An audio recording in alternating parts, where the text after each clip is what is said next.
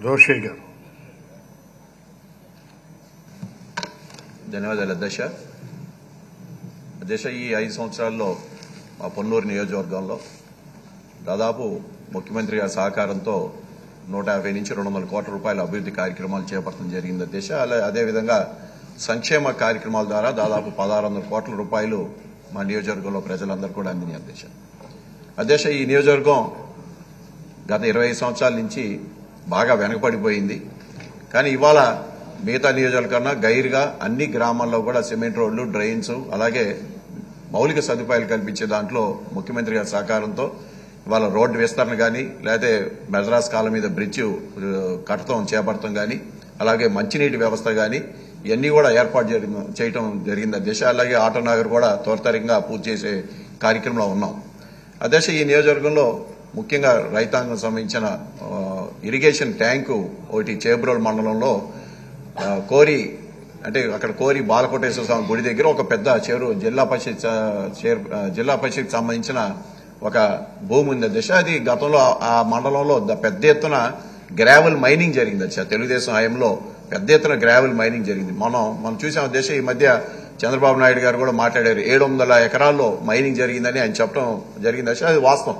కానీ ఏడు వందల ఎకరాల్లో ఆరు వందల యాభై ఎకరాల పైగా తెలుగుదేశం పార్టీ ఆ పాత శాసనసభ్యుడే మొత్తం గ్రావెల్ మైనింగ్ చేయడం అనేది ప్రతి ఇంటింటికి అక్కడ ఏ గ్రామంకి వెళ్ళి ఏ తలుపు తలుపు కొట్టినా ఎవరు మైనింగ్ చేశారంటే అతని పేరు చెప్తారు అధ్యక్ష. కానీ దుష్ప్రచారం బట్టి మన ప్రభుత్వం మీద చేస్తా ఉన్నాడు.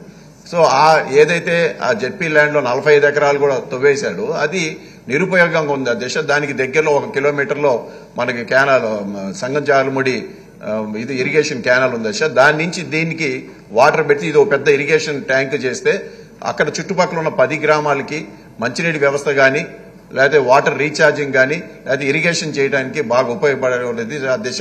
ఆ ప్రాంతంలో ఆ పది గ్రామాలకి చాలా ఉపయోగం దశ మంచి నలభై ఐదు ఎకరాలు చేరుంటే సామాన్య విషయం కాదు దశ సో రాబోయే రోజుల్లో ఇరిగేషన్ డిపార్ట్మెంట్కి అది ఒక సూచనగా దాన్ని ఇరిగేషన్ ట్యాంక్ చేయాల్సిందిగా కోరుతా ఉన్న దిశ. రెండోది ఏదైతే పొన్నూరు పట్టణంలో ఇవాళ రోడ్డు విస్తరణ పెద్ద ఎత్తున చేస్తా ఉన్న దిశ ముప్పై ఐదు సంవత్సరాల నుంచి పెండింగ్ ఉన్నది కూడా ఇవాళ మేము పూర్తి చేస్తా ఉన్న దిశ. అక్కడ ఇంకా ఏదైతే పొన్నూరు పట్టణం నుంచి నిడుబ్రోల్కి ఒక బ్రిడ్జ్ కూడా కావాల దిశ దాన్ని కూడా పూర్తి చేయాలని నేను ఈ రానున్న రోజుల్లో మనం తప్పకుండా అది పూర్తి చేయడానికి దానికి అన్ని ఏర్పాట్లు చేయవలసిన కోరుతూ ముఖ్యమైన విదేశం ఇస్తే ఈ రాష్ట్రంలో ఏదైతే డైరీ వ్యవస్థ. పాల డైరీలు ఏ విధంగా చంద్రబాబు నాయుడు నిర్వీర్యం చేశారో మనందరికీ కూడా తెలుసు అధ్యక్ష.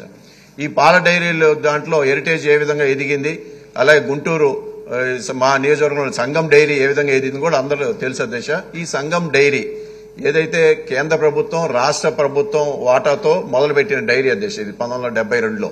అప్పుడున్న పెద్ద మనుషులందరూ కూడా చుట్టుపక్కల ఉన్న రైతుల దగ్గర డబ్బులు కూడా వసూలు చేసి అక్కడ కేంద్ర ప్రభుత్వం రాష్ట్ర ప్రభుత్వం సహకారంతో దాదాపు డెబ్బై రెండు ఎకరాలు కొనుగోలు చేసి ఇది ఒక సహకార సంఘం కింద నిర్మించడం జరిగింది. అంటే దీన్ని బ్రహ్మాండంగా విజయవంతంగా జరుగుతున్న సమయంలో ఈ తెలుగుదేశం పార్టీ శాసనసభ్యుడు ఎవరైతే దాన్ని చైర్మన్గా వచ్చాడో అది ఒక పాల రైతు అధ్యక్షత వహించాల్సింది ఒక దొంగ రైతు ముసుగులో ఈ రోజు చైర్మన్గా కొనసాగుతా ఉన్నది సార్ దాన్ని కూడా ఏం చేశారంటే ఎప్పుడైనా సరే ప్రభుత్వాల సహకార సంఘాల తరపున రావాల్సింది పోయి అతను ఏం చేశాడంటే ఆ సహకార సంఘాన్ని కంపెనీ కింద మార్చుకొని ఒక దొంగ సంతకంతో అక్కడ ఉన్న కోఆపరేటివ్ ఆఫీసర్ దొంగ సంతకంతో దాన్ని ఒక కంపెనీ కింద మార్చుకొని తనే ఒక శాశ్వత చైర్మన్గా చైర్మన్గా ప్రకటించుకొని ఈరోజు దాని యొక్క లాభాల్ని పెద్ద ఎత్తున కొట్టేస్తా ఉన్నాడు దశ ఇవాళ ఆ డైరీ పదహారు వందల కోట్ల రూపాయలు టర్న్ జరుగుతుంటే చూపించే లాభం అతి తక్కువ చాలా కేవలం ఆరు కోట్ల రూపాయలు చూపిస్తా ఉన్నాడు అధ్యక్ష.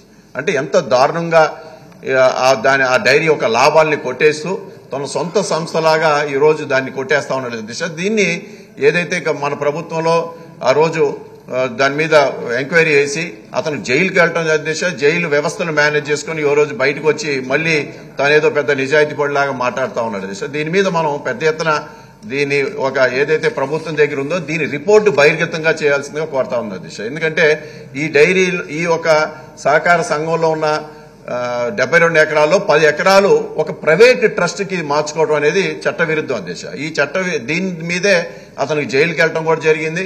కానీ దాన్ని ఎందుకో ఆలస్యం అవటం వల్ల అతను జ- వ్యవస్థలు మేనేజ్ చేసుకోవటం వల్ల ఇవాళ కొనసాగుతూ కొనసాగుతా ఉన్నాడు అధ్యక్ష. ఈ పది ఎకరాలు ఏదైతే డీవీసీ ట్రస్ట్ అనే ట్రస్ట్కి ఒక ప్రైవేట్ ట్రస్ట్కి మార్చుకొని ఆ సహకార సంఘంలో వచ్చిన లాభాలన్నీ సొసైటీలకు ఇవ్వకుండా ఆ డబ్బుల్ని ఆ ట్రస్ట్కి మలుచుకున్నాడు దేశ.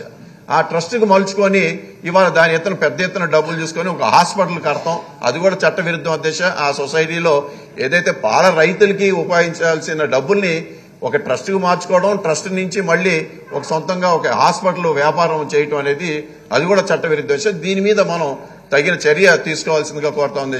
ఇది పెద్ద ఎత్తున దోపిడీ చేస్తున్నాడు పాల రైతులకు సంబంధించిన బోనస్లన్నీ కొట్టేయటమే కాకుండా ఆ కంపెనీలో వచ్చే లాభాలు కూడా పెద్ద ఎత్తున తన ఖర్చులు రాసుకొని ఏదైతే అక్కడ పాల ఫిలిం కానివ్వండి పెరుగు బకెట్లు కానివ్వండి ఇవన్నీ కూడా పెద్ద ఎత్తున దాన్ని ఖర్చు రాసుకొని తను కోట్లాది రూపాయలు వెనకేసుకొని ఈ రోజు పెద్ద మనిషిగా చాలా మంది మళ్ళీ మన మీద బురదేస్తా ఉన్నాడు దేశం గ్రావెల్ మైనింగ్ పెద్ద ఎత్తున దోపిడీ చేశాడు. పాల డైరీని పెద్ద ఎత్తున దోపిడీ చేశాడు. అక్కడ ఉన్న వ్యవస్థను నీరు చెట్టు కింద ప్రతి గ్రామంలో దోపిడీ చేశాడు. ఇవన్నీ కూడా దశ మనం ఏదైతే ఇవాళ మన మినిస్టర్ గారు ఉన్నారో దీన్ని ఒక రిపోర్ట్ ఏమంటే బహిర్గతం చేస్తే ప్రజలు కూడా తెలుసుకుంటారు వాస్తవాలు తెలుసుకుంటారు అధ్యక్ష. ఆ విధంగా నేను మన మినిస్టర్ గారిని కోరుతా ఉన్న అధ్యక్ష దీని రిపోర్ట్ని బహిర్గతం చేయాల్సింది కోరుతూ ఇరిగేషన్ మంత్రి గారిని కూడా ఆ ఇరిగేషన్ ట్యాంకుల గురించి అలాగే బ్రిడ్జి ఒకటి రెండు శాంక్షన్ చేయాల్సిందో కోరుతా ఉన్న అధ్యక్ష. ధన్యవాదాలు నోట్ చేసుకో. కృష్ణ గారు నోట్ చేసుకో okay okay okay right right